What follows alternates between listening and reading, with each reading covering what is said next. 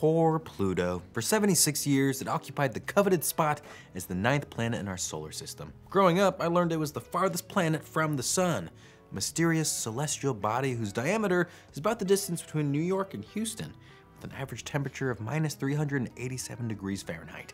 The Lord of Five Moons, the only planet named by an 11 year old girl. Pluto had a lot going for it. But in 2006, it was knocked off its planetary pedestal by some jerks.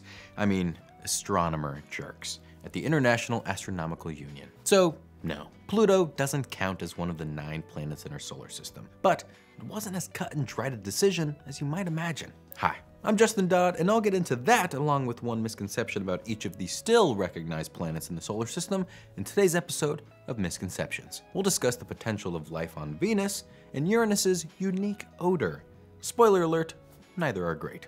Let's get started.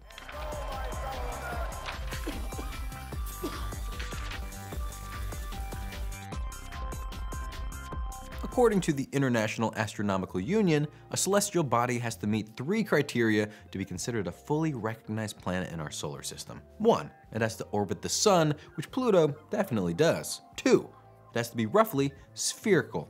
Check.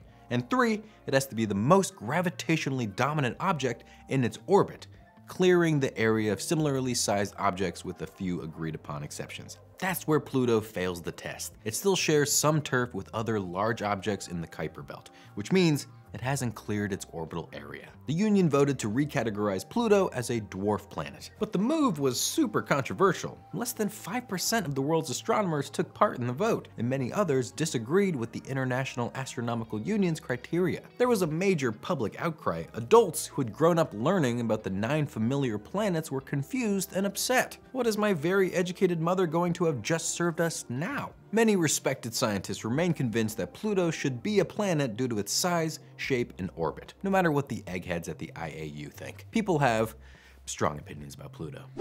Mercury is the hottest planet. Tiny rocky Mercury is the closest planet to the sun and the smallest in the whole solar system, not counting Pluto. You see how this is confusing? It has an oval-shaped orbit that brings it as near as 29 million miles to the sun and up to 43 million miles away from it but even at that relatively close proximity, it's still not the hottest planet. Mercury turns on its axis pretty slowly. Each full day night cycle on Mercury takes 176 Earth days. Its average temperature during a long daytime can reach a toasty 800 degrees Fahrenheit. Its nighttime average plunges to minus 290 degrees Fahrenheit, which is far too cold to sustain life as far as we know. The main reason for the big swing in temps is Mercury's lack of atmosphere. On Earth, the atmosphere protects us from solar radiation and insulates the planet from extreme temperature variations. Mercury has none of these perks. Instead, it has an exosphere of oxygen, sodium, hydrogen, and other atoms that have been scoured off Mercury's surface by blasts of solar wind and meteoroid impacts. With no cozy atmospheric blanket to trap heat, Mercury loses the warmth it absorbs during its days. So, if Mercury isn't the hottest planet, which one is? We're getting to that. Hold your horses there, cowboy. Venus is Earth's sister planet.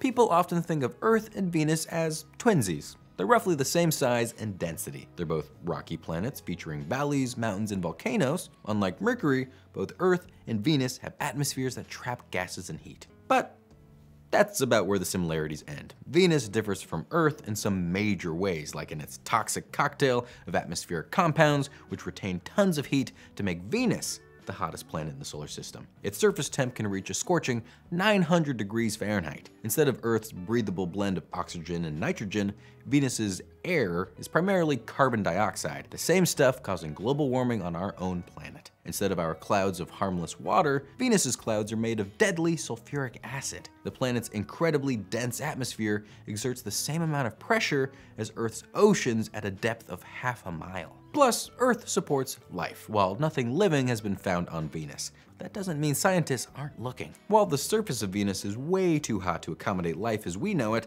the planet's atmosphere actually thins and cools as altitude increases, as Aaron discussed in our video covering 100 facts about the planet. 30 miles above the surface of Venus, temperatures vary between 86 and 158 degrees Fahrenheit, and the pressure relents to about the same level found on the Earth's surface. That leads some scientists to consider the possibility of extremophile bacteria, like those found in hydrothermal vents or ultra-acidic volcanoes on Earth, living in Venus's poisonous clouds. Scientists have even detected some mysterious black streaks at the tops of the clouds, which may be caused by iron-rich deposits or perhaps by an as yet undiscovered microbial form with the chemical makeup that can withstand Venus's toxic atmosphere. But for now, it's only a speculative theory. Earth is a sphere. Eh, eh, eh, whoa, whoa, whoa, whoa. We are not saying that just because Earth isn't perfectly round that it's actually flat. That idea got debunked even earlier than 1492 when Columbus supposedly proved to the haters that you couldn't sail off the edge of the planet. We are merely relaying the scientific evidence showing that Earth is not a perfectly round sphere. According to the National Oceanic and Atmospheric Administration, Earth is an irregularly shaped ellipsoid. It's about 26 miles wider in diameter at the equator than it is at the poles due to the centrifugal force generated by Earth spinning on its axis. Basically, it's fatter around the middle. But that's not the whole story. Earth's shape is constantly changing topographically. Floods erode land, volcanoes create new land, earthquakes can alter the land in dramatic ways, and climate change is having a huge impact on our planet's geophysics. When Earth's mass shifts from one place to another, it affects the planet's gravitational forces. Here's an example. Greenland is losing mass rapidly because its ice sheet is melting. The remaining ice sheet doesn't press down on the bedrock of Greenland as much because it weighs less, so the ground is actually rising. A 2020 paper reported that at one place in Greenland, the land had risen roughly 10 feet above relative sea level since 1900, which is like a huge, scary amount. I say relative sea level because at the same time, since Greenland is losing mass, it's also losing gravitational force. The ocean volume that used to hug Greenland's shores is drifting to the tropics instead, increasing that region's gravitational force. You can see it in the rising seas around islands in the South Pacific Ocean, which leads to flooding and other problems for residents. People have landed on Mars. In some ways, Mars is more of a sibling planet to Earth than Venus is. No other planet besides Earth has been scrutinized as much as Mars, from the work of ancient Egyptian astronomers to today's robotic rovers and orbiters. Space agencies and private companies are focusing on Mars as a potential abode for humanity if, or when, Earth becomes uninhabitable. We've collected samples of Mars's crust, studied its atmosphere and seasons, taken photos of its eerily rusty landscape, and mapped its surface. We've discovered organic molecules buried deep in billion-year-old Martian rocks. We've even flown a helicopter there. But to be clear, I don't mean to Mars. The trip started and ended on the red planet. But one thing we have not done is actually go to Mars. No human has ever landed on the red planet, though, according to Caltech planetary scientist Bethany Ehlmann, one of the most common misconceptions is that astronauts have done so. In fact, we've gained our vast knowledge about Mars by observing it from afar or by monitoring it with sensors on the planet that beam information back to Earth. So if we're sending all these awesome robots to Mars, could sending actual people really be that difficult? As it turns out, yeah. There are a few reasons why. One, it's super far. When Earth and Mars are at the nearest points in their orbits to each other, a phenomenon called close approach, Mars is still at least about 34 million miles away, and that's the absolute theoretical minimum given fluctuations over time. In 2022, the close approach actually left us over 50 million miles away. Because the planet's orbits are elliptical and the distance between them varies, close approach doesn't happen very often, usually about every 26 months. That means the optimal window for successfully launching a spacecraft to Mars is limited to roughly once every two years. Two, we don't have the technology to keep an astronaut alive during the journey. Any trip to Mars currently requires a minimum of 21 months due to the positioning of the planets during the journey. Beginning with the launch window near close approach, it would take nine months to fly from Earth to Mars. Then the crew would need to spend three to four months waiting for the planets to align for the nine month return trip. The crew would need to bring every single thing for sustaining life with them. Food, water, clothing, oxygen, fuel, plus scientific instruments, building materials, spare parts, medical supplies, a DVD player, Parks and Rec seasons two to four on DVD, the DVD player remote, spare batteries for the remote. The list goes on and on. And while we might be able to drop off some of those supplies on Mars, there's still the whole getting there thing. Today's spacecrafts don't have the ability to carry all that weight for so long. Three, nobody knows exactly how to land a crewed spacecraft in Mars's thin atmosphere or how astronauts would fare on the red planet. Astronaut Scott Kelly experienced several physiological changes after spending one year aboard the International Space Station, and it's likely that any Martian Voyager would experience worse. Would the long-term exposure to the Martian atmosphere cause medical problems? Would the relative lack of gravity cause muscles to turn to jello? Would one's heart and organs continue to function over such long periods? I mean, maybe, we just don't know. For all these reasons and more, humans have never been to Mars, but research into the possibility continues. You can fly a spaceship through Jupiter. Jupiter is the larger of what astronomers call the gas giants which also includes Saturn. Unlike the four rocky planets we've already mentioned in this video, the gas giant's mass is primarily, well, what we think of as gases, such as hydrogen and helium, along with some liquids. But that doesn't mean you can just zoom right through it. Jupiter's mass is more than twice that of all the other planets put together. Gravity holds all of the swirling matter together in a rapidly rotating ball. Any spacecraft attempting a fly-through would first meet the three layers of Jupiter's cloud system, which is about 44 miles thick and contains a mix of frozen ammonia and water ice. The clouds collide with warmer gases rising from Jupiter's interior, creating powerful winds and storms. The Great Red Spot is a monster storm with winds topping 400 miles per hour. Try getting a command module through that. But let's say you make it past the cloud layer and enter Jupiter's inner atmosphere. Crushing pressure and skyrocketing temperatures turn gases into liquids and form what NASA calls the solar system's largest ocean. The 25,000 mile deep pool of liquid metallic hydrogen can conduct electricity. It also uses the planet's fast rotation to generate an immensely strong magnetic field. I mean, it's no sea of tranquility. Finally, you won't even get close to Jupiter's mysterious core. This roiling mix of iron and silicates, which could be either a stew of loose matter or a solid form, may reach 90,000 degrees Fahrenheit. Pretty much everything we've learned about Jupiter, we've gleaned by observing it from afar. And the one craft we deliberately crashed into it, Galileo in 2003, didn't emerge from the other side. As NASA says, the probe penetrated 124 miles, 200 kilometers, into Jupiter's violent atmosphere before it was crushed, melted, and or vaporized by the intense pressure and temperature. The bottom line, your puny spaceship on its way through Jupiter is not gonna make it. So our advice, take a scenic detour. Saturn's rings are solid.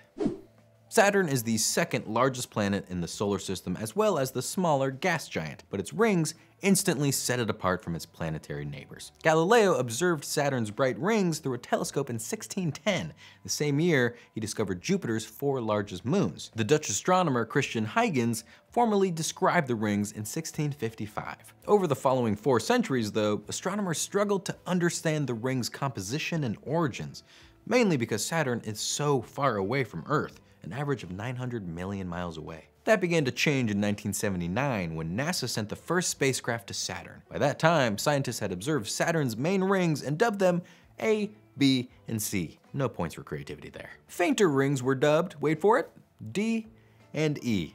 I mean, come on, astronomers had like 400 years to come up with better names for these things, and this is what they're going with? It's shameful. The space probe Pioneer 11, Earth's first visitor to Saturn, discovered another ring along with other clues to their makeup. Then, Voyager 1 and 2 captured images showing that the main rings are actually thousands of thin ringlets. In 1997, NASA launched the Cassini orbiter on a mission to Saturn. It took about seven years to get there. Once it arrived, it began orbiting the planet, the first spacecraft to ever do that and beaming back incredibly detailed images of the planet's rings. They do resemble a solid grooved plane surrounding the planet, like a close-up of Voyager's golden record.